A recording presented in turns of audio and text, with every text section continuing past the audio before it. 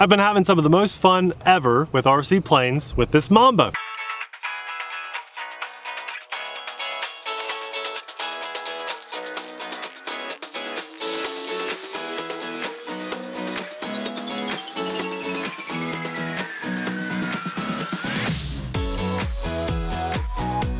I want to keep this real short and sweet.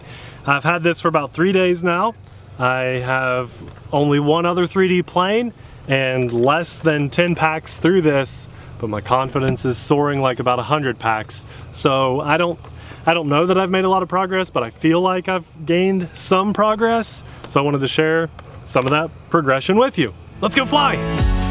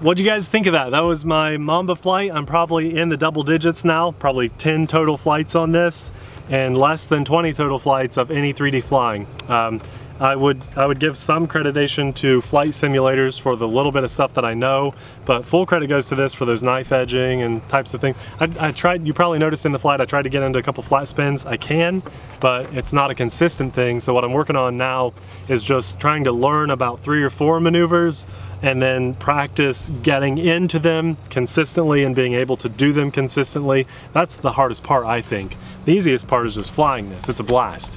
Um, I wish I could get a longer flight time of about three to four minutes is about uh, the best we get. But this thing's a blast. Hopefully you guys enjoyed watching that too. I think this might end up being a bonus video. I don't know. I don't know. I just like sharing that progression of the hobby with you guys, even if sometimes it is on a similar vehicle or the same vehicle as what we've previously seen on the channel. So you saw my maiden, Here's a mid-step, an early, early, early mid-step. And hopefully, you know, in a couple weeks I can come back and say it hasn't been crashed and I know a couple more moves or something. I don't know.